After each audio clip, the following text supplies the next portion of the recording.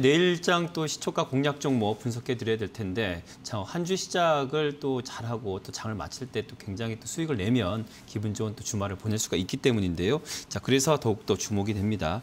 먼저 어, 우리 김수 대표님, 네 어, 크레버스와 DTNC 이제 보고 계신데 어떤 종목이 좀더 어, 한 기분 좋은 휴일을 맞이할 수 있는 종목이 될까요?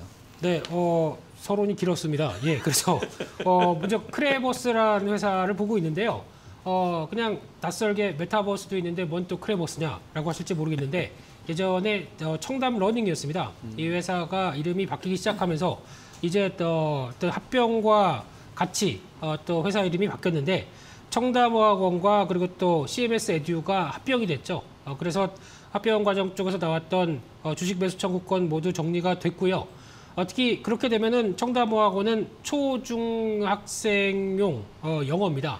그리고 또 CMS 웨디는 수학하고 코딩입니다. 그러면은 영수 코 이렇게 돼서 특히 이제 코딩 같은 경우는 신정부에 대한 기대감이 상당히 높죠. 특히 어, 코딩 교육을 거의 의무화하겠다라는 입장 쪽에서 좀 더 강조하는 모습들이 또 이번에 어, 어떤 정책상으로 담기기 시작한다라고 되면 그에 따른 수혜를 받을 수 있는 대표적인 종목이란 점 체크를 하셔야 될 것 같고요.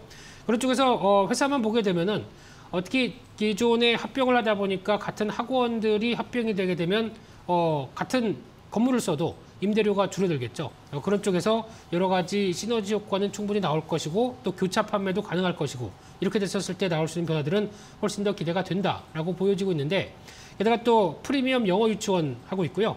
또 메타버스는 관련된 쪽에서 온라인 학원을 런칭한다라는 쪽으로 보게 되면 그래서 이름이 크레버스로 바뀌었나라는 쪽인데 쉽게 말씀드리면 어, 어린이부터 영유아부터 이제 중학생까지 쭉 아우르는 대표적인 교육기관으로 바뀌게 될 상황들이고요.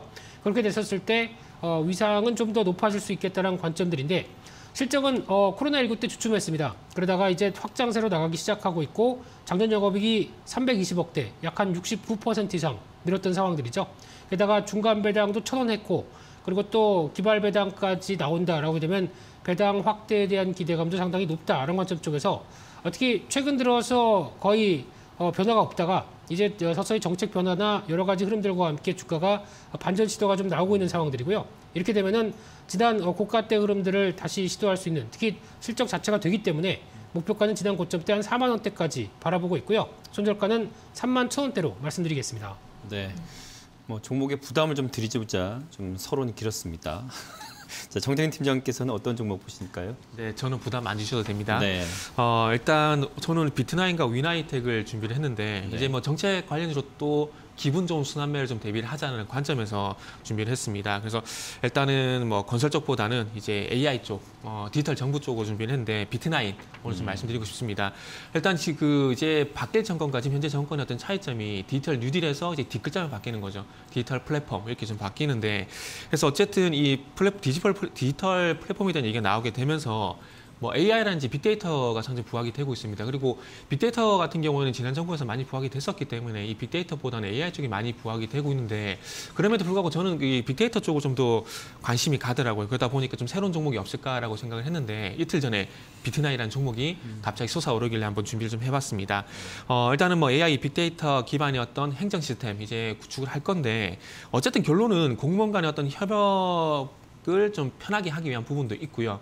어, 일을 처리하는 어, 차원에서 그리고 이제 어, 정, 이제 국민들 국민들 같은 경우는 이제 빅데이터를 활용을 해서 어떤 객관적인 어떤 정보라든지 그리고 행정 시스템, 행정 서비스 이런, 이런 부분들을 받을 수 있는 기반을 좀 마련한다고 보시면 될 것 같습니다. 그래서 어쨌든 AI가 어, 이런 부분들을 어떤 분석을 하기 위해서는 일단 어쨌든 중요한 건 기초 자료가 중요합니다. 그러면은 빅데이터 기반된 데이터베이스가 상당히 좀 중요한데 이게 없게 되면은 아무리 좋은 AI가 있더라도 저는 실행되기 힘들지 않을까라는 생각을 하고 있습니다. 그러다 보니까 AI도 중요하지만 거기에 기반이 되는 빅데이터도 중요하다고 생각을 하고 있는데 이 비트나인 같은 경우에는 그 그래프 DB 기반의 데이터 분석 솔루션을 제공을 하고 있는 상황입니다. 그래서 일단은 잘 아시다시피 그 화면에 어떤 그래프 이런 부분이 2D인데 이런 부분이 앞으로 3D라든지 홀로그램식 으로 좀 변화가 돼서 좀 더 세밀한 어떤 그 데이터베이스를 구축할 수 있다는 보시면 될 것 같습니다. 그래서 이런 부분들을 이 어, 빅데이터가 적용된 이 데이터베이스를 기반해서 AI가 분석을 하고 판단해서 이런 분석 자료를 내놓고 서비스를 제공한다고 좀 보시면 될 것 같은데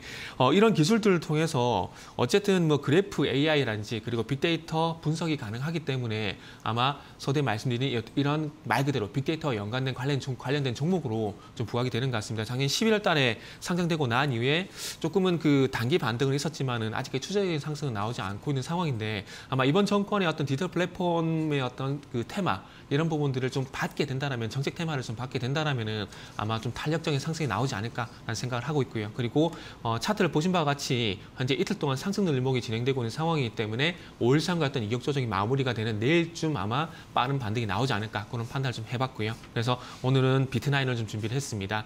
가격 전략을 말씀드리면 목표가는 22,000원, 손절가는 18,000원 제시하도록 하겠습니다. 네, 어, 두 전문가는 오늘 내일장 시초가 공략주로 뭐 윤석열 당선자의 정책 수혜주에 해당될 수 있는 교육 AI에서 찾아주셨습니다. 크레버스와 비트나인이었고요. 윈하이텍과 DTNC도 눈여겨보시기 바랍니다. 두 분 전문가 수고하셨습니다.